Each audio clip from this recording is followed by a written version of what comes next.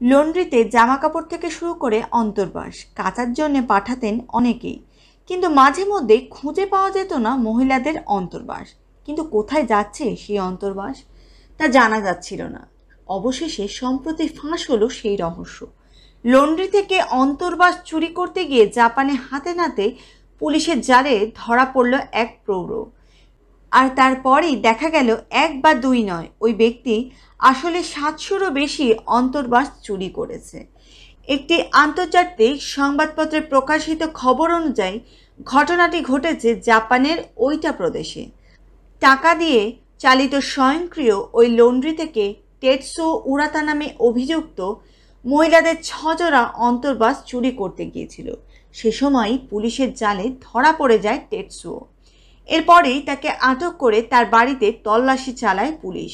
দেখা যায় আরও সাতশো তিরিশটি অন্তর্বাস তার বাড়িতেই লুকানো রয়েছে। পরবর্তীতে মেঝেতে পড়ে থাকা অন্তর্বাসগুলির ছবি সোশ্যাল মিডিয়ায় নিজেদের পোস্টে শেয়ারও করে স্থানীয় পুলিশ। সঙ্গে তারা জানায়, এর আগে কখনো এত বেশি সংখ্যক অন্তর্বাস চুরির ঘটনা সামনে আসেনি। ইতিমধ্যে এই ঘটনা সোশ্যাল মিডিয়ায় ভাইরাল হয়ে গিয়েছে। ওই ব্যক্তির এহনো শখ দেখে অবাক হয়েছেন নেটিজেনরা। অনেকেই ওই ব্যক্তির কাজের নিন্দা করেছেন। কেউ কেউ এই বিষয়টি নিয়ে মজাও করেছে। এই প্রথম নয়, এই ধরনের অদ্ভুত ঘটনা এর আগেও সামনে এসেছে। দু বছর আগে অন্তর্বাস চুরির জন্য একশো কিলোমিটার পথ অতিক্রম করেছিলেন পঁয়ষট্টি বছরের এক বৃদ্ধ।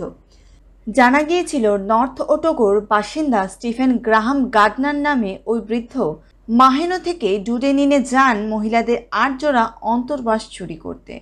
যদিও অদ্ভুত এই শখ মেটাতে গিয়ে চুরির দায়ে ধরা পড়ে যান তিনি।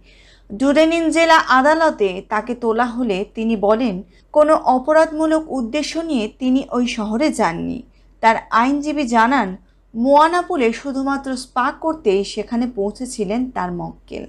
তবে পুলে স্নানের সময় হঠাৎই তার অন্তর্বাস চুরি করার কথা মনে হয়েছিল।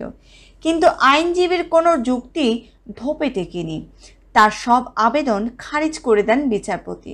তার তার সব তার সব আবেদন খারিজ করে দেন বিচারপতি। তার কথায় মহিলাদের অনুপস্থিতির সুযোগ নিয়েই তাদের অন্তর্বাস চুরি করেছেন ওই প্রৌঢ়